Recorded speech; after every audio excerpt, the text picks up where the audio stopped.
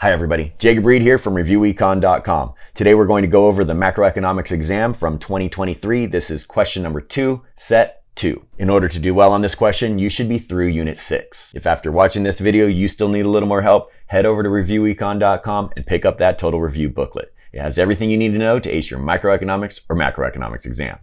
Let's get into it.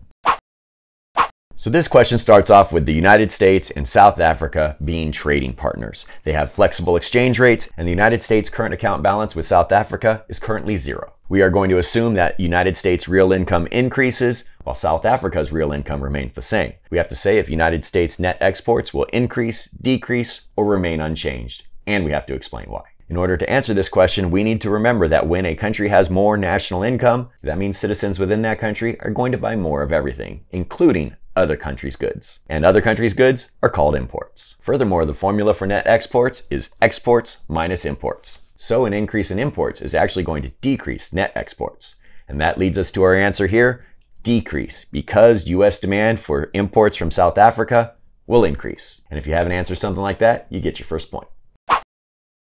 For part B, based on the answer that we just said in part A, we have to say what will happen to the capital and financial account in the United States. And in order to answer that question, we have to remember that a decrease in net exports means a decrease in the current account. And the current account and capital and financial account must always equal zero. That means when there's a decrease in one, there's an increase in the other. And that leads us to our answer here, which is increase or becomes a surplus. For part B double I, we have to say what would happen to the actual unemployment rate in South Africa in the short run and explain.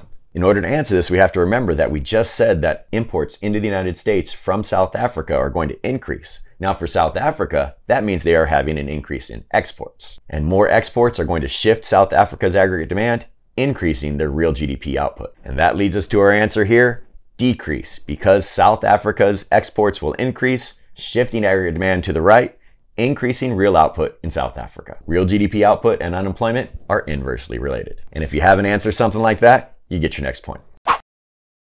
For part C, we're going to graph the foreign exchange market for the South African rand compared to the United States dollar and show the impact of the increase in exports from South Africa. First, we're going to label the axes with the quantity of rand on that x-axis and the exchange rate, which is dollars per rand on the y-axis. We have a downward sloping demand curve, upward sloping supply curve, and the equilibrium exchange rate and quantity marked. Now, in order for Americans to buy South African goods, they have to demand South African Rand.